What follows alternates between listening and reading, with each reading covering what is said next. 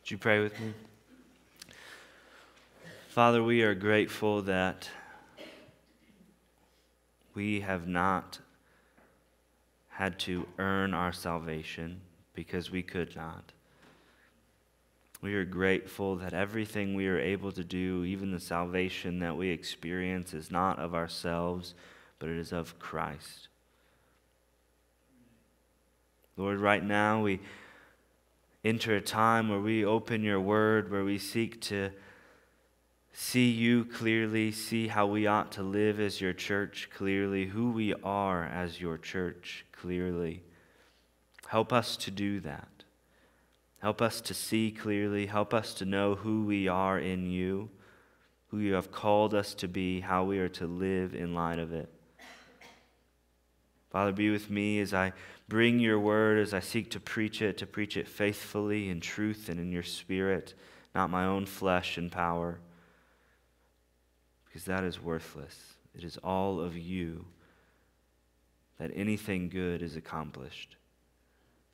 So, Lord, we pray now in this time that you would help me and help us to understand rightly who we are. We pray this in your Son's name. Amen. I want to be honest, this is kind of a setup for next week's sermon. this is this is a sermon that will help us get in the right mindset for next week and the following weeks as we discuss some difficult topics that come up in 1 Corinthians, such as church discipline and other things. But if we are to rightly understand church discipline, we need to first understand rightly our identity. And so I ask the question Does it matter how we understand our identity as Immanuel Baptist Church? Does it, does it matter? And my answer, and hopefully at the end of this, your answer will also be yes, it absolutely matters. Because what we believe our identity to be as Immanuel Baptist Church will directly impact how we function and how we live as God's church. For instance, if we understood our identity to be a social club, it's not, but if we understood it that way, then every action we make will be done in light of that identity. We will merely meet on Sunday mornings, Wednesday evenings, whatever else we do, to merely socialize. This will be social hour. We will plan events for our own entertainment. We will organize our groups around hobbies and interests alone. We will spend the funds we have only on things that benefit us in the here and now and not plan for the future or for things that will help others around the community and world. If that's how we see ourselves as merely a social club, then every action we take will follow in line with that. This question is important. It matters what we understand our identity as Immanuel Baptist Church to be because when we understand our identity rightly, we will be faced with the reality that we can't just do the easy things. We can't just do the simple things, the things that are nice and neat. Next week, again, in fact, and for many weeks following, we are going to discuss difficult topics that will not make sense to us if we don't rightly understand who we are. Next week, when we look at church discipline, it will only seem right and make sense if we understand our identity rightly. Likewise, the following weeks, when we see how we are to handle things like lawsuits among believers, sexual immorality, marriage and singleness, food offered to idols, idolatry in general, how we approach the Lord's Supper, spiritual gifts in the church, love, living in light of the resurrection, giving to those in need, all of those things are affected by what we understand our identity to be. So, what then is our identity as Immanuel Baptist Church? Luckily, I don't have to come up with this. God has already told us in His Word what our identity is. And so we're going to see only from 1 Corinthians this morning because that's where our argument's going to go for the next however many weeks. We're going to look at 1 Corinthians. And Paul has already multiple times brought before us, it hasn't been the main point, but he's already brought in these instances of this is who you are. This is who the Corinthian church is, and likewise who Immanuel Baptist Church ought to be and is. So, our identity as Immanuel Baptist Church is not a social club. We are far greater than that.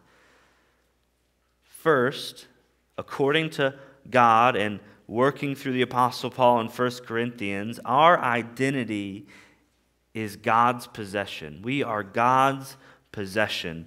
If we look at 1 Corinthians chapter 1, verses, verse 2, we read this To the church of God at Corinth, and we'll stop there. We'll read the rest in a little bit, but we'll just stop there. To the church of God at Corinth, and then if you turn a page or two to 1 Corinthians 3:23, we read this. You belong to Christ, and Christ belongs to God. It is abundantly clear here, based on these two verses, that the Corinthian church was not the possession of Paul. It was not Paul's church. It was not the possession of their current elders. It was not even the possession of the members themselves. It was not their church, it was the church of God at Corinth. The one who possessed the church, who owned the church, who made up all the believers there was God Almighty Himself. Paul stated it, stated it again in a very different way in the second verse I read. So he started out with, to the church of God at Corinth. Then he went on in the second verse we read, and he said, all those believers who made up the church of God at Corinth belonged to Christ. They belonged to Him, the one who died for them, the one who redeemed them from the domain of darkness and brought them into the kingdom of the Son, the one who was raised to life in order to give them new life, the one who was purchased, who purchased them by His blood.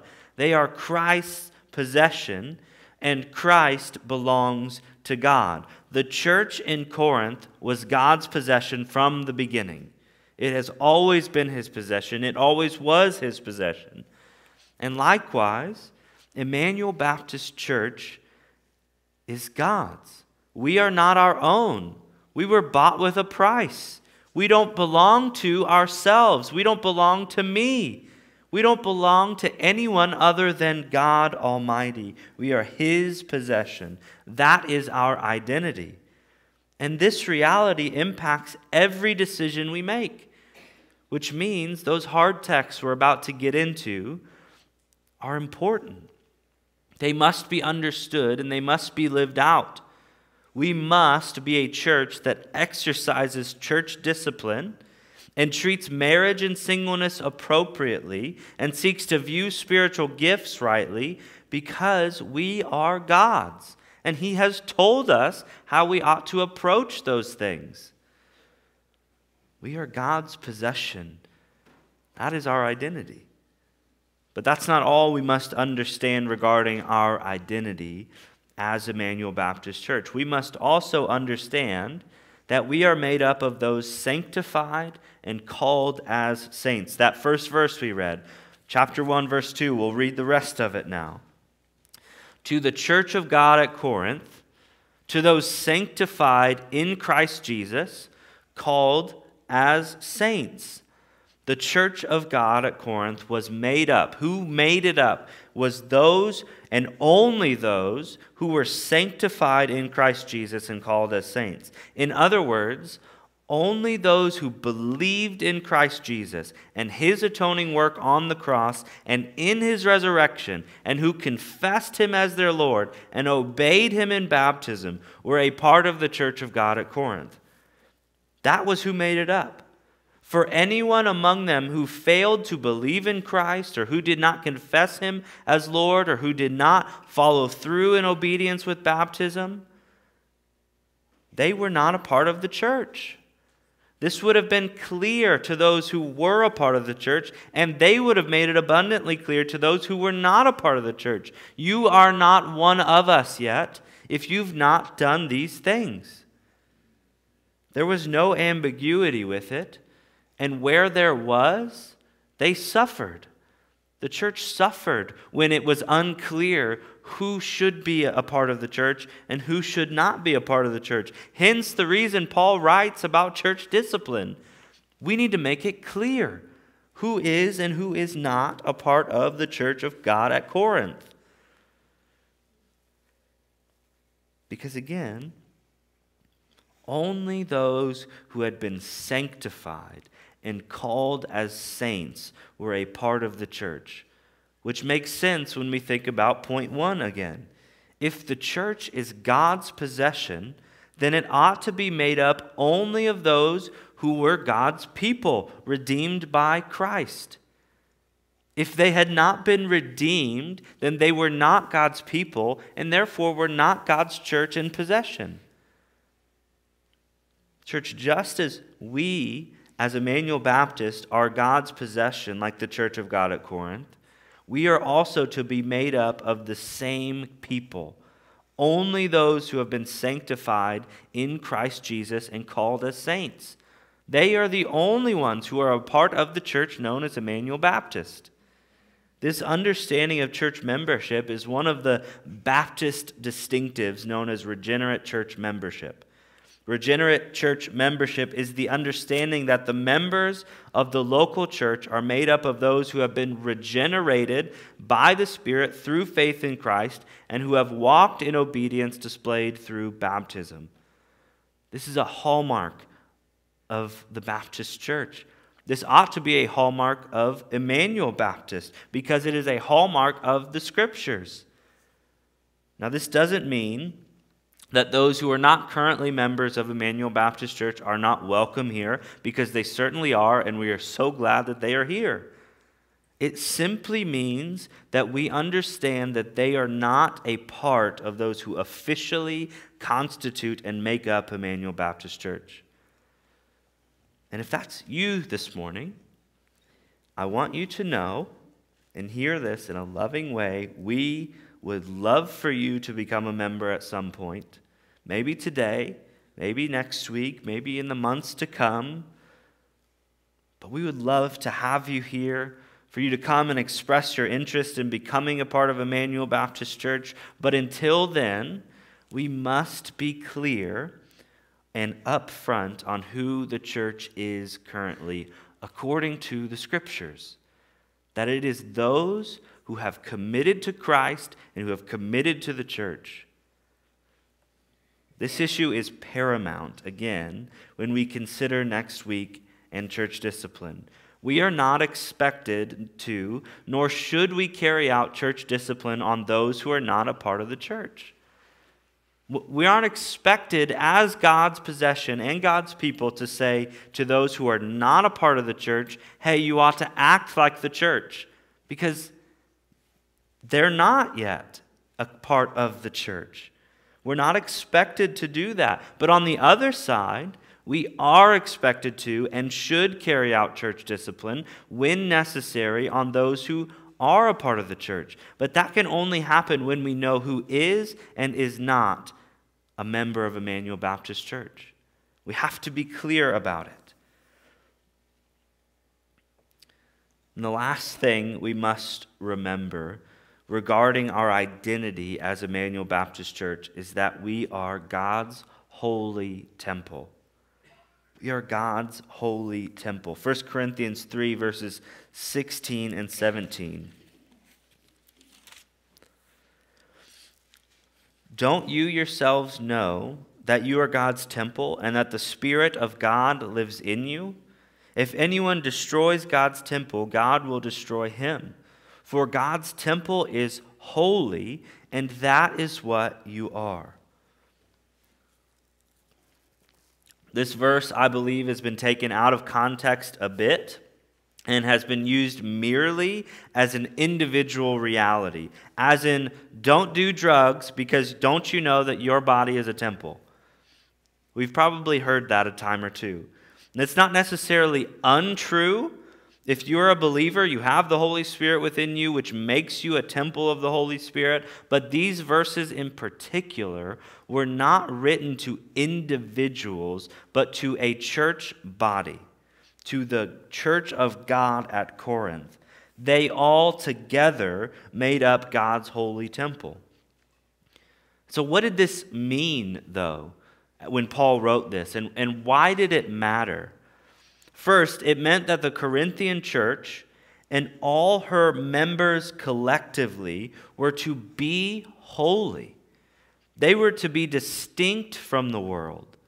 They were to be morally pure and unstained by the fallenness of the world they resided in, because in Christ they were made new. This was something they struggled with greatly. Again, why Paul is writing this letter to them. Holiness is a big issue in 1 Corinthians. They struggled with it. They were forgetting their identity, and it led to them being infected by the ways of the world, shown in how they were living unholy lives. And some of them were in need of church discipline and, and being turned back to the Lord. That's what it meant. And it mattered then because when the world looked at them, when the world around them looked at them and their representation of what it was like to be a Christ follower and part of the church, they didn't see the redeemed life and people they should have seen. Instead, they saw people just like them, living just like them, as if nothing had happened and Christ changed nothing. They weren't living as God's holy temple. Church, we are God's possession. We are those sanctified in Christ Jesus and called as saints or the holy ones, and we must act like it. We must remember that we too are God's holy temple. Yes, individually we are the temple of the Holy Spirit, but more importantly, collectively, as Immanuel Baptist Church, we are the temple of God Almighty here on earth. We have been redeemed and called to be in the world, but not of the world.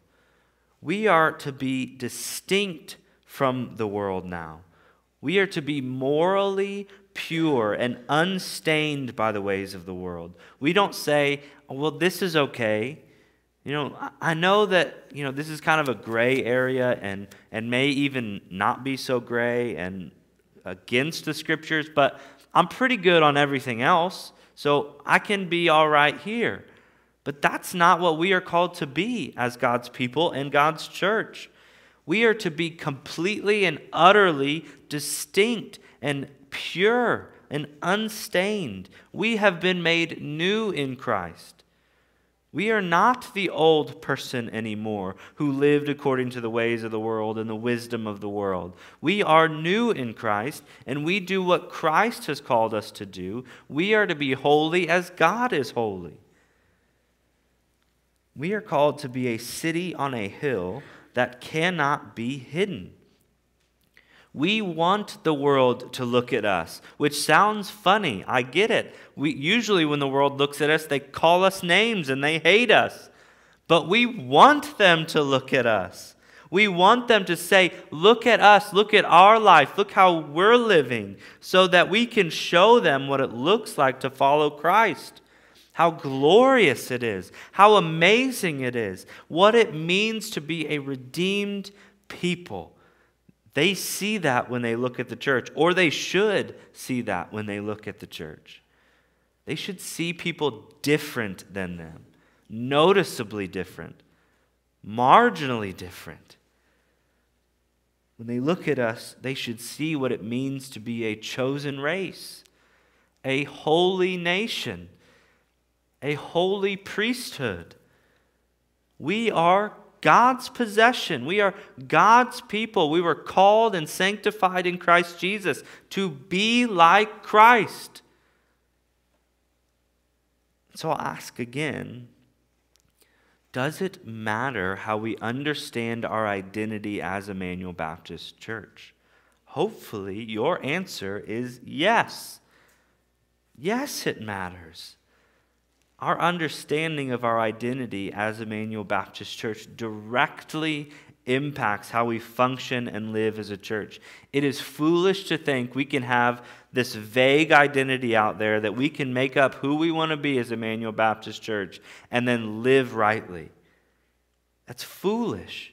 We have to understand who we are, who God has created us to be, called us to be, so that we can live rightly, live a holy life, be God's holy temple.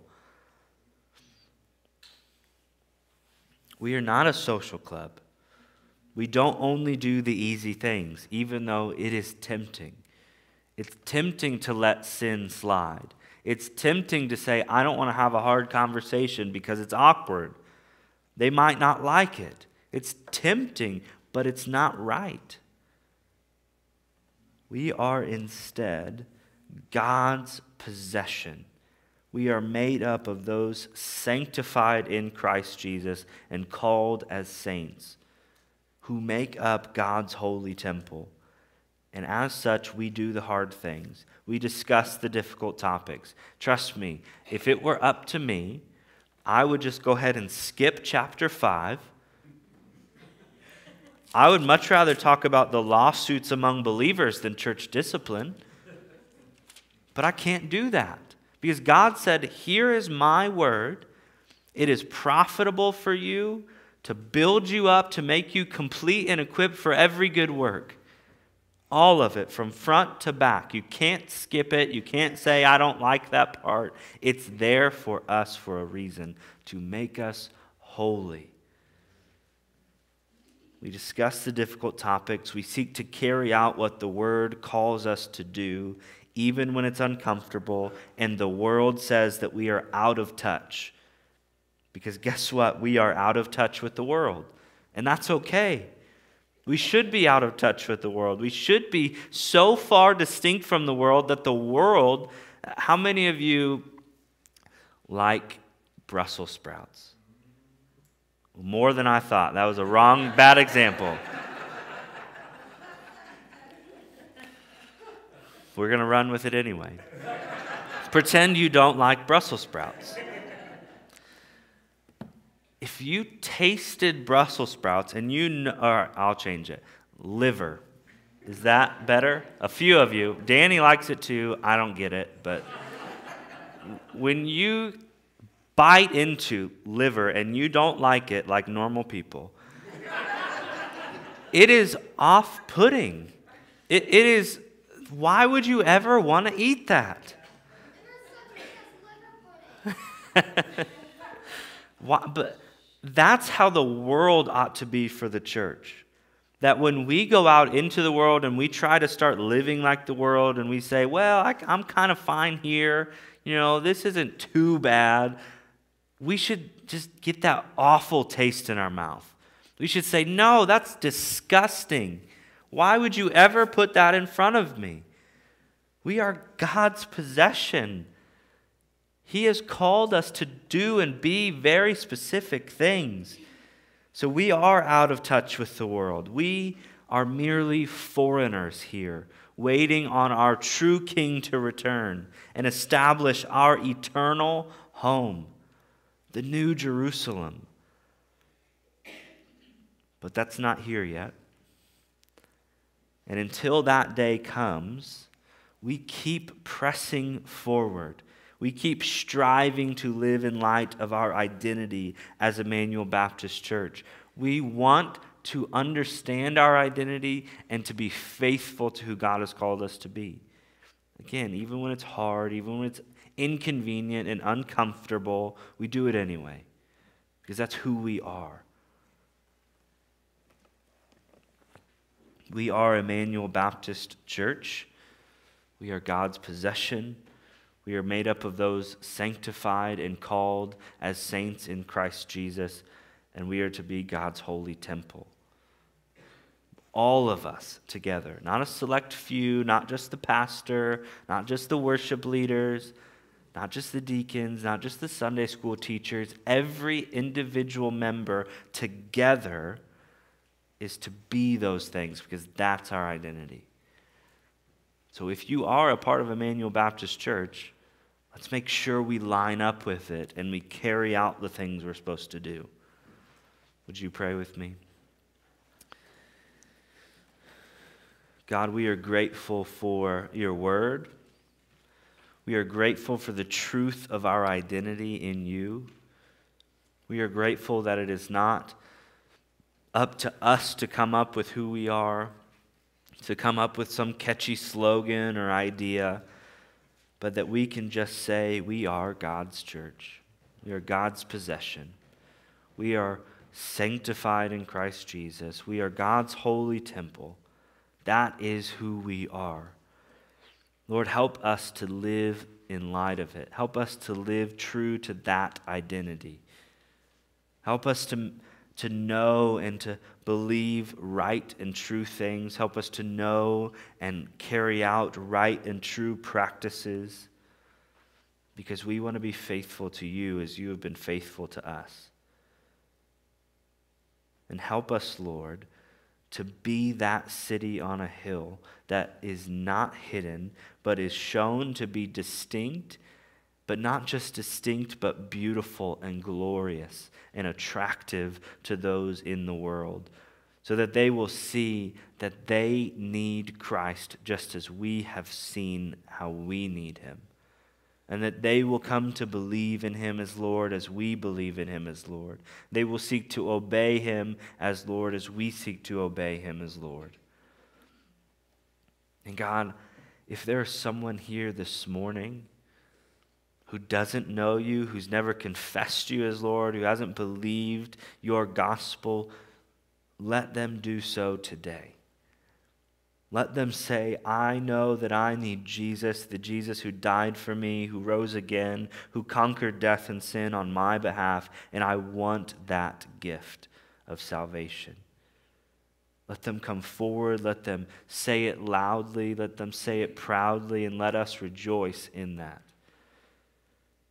And God, if there's someone here this morning who does not have a church family, who is not a part of God's church, who is not officially a part of God's holy temple known as the local church, may they be led this morning to join here.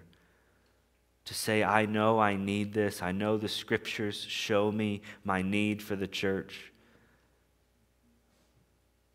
And let us welcome them in with open arms, celebrating that there is yet another stone added here where we can walk together hand in hand, glorifying our God and Savior. God, we love you. We pray these things in Jesus' name. Amen.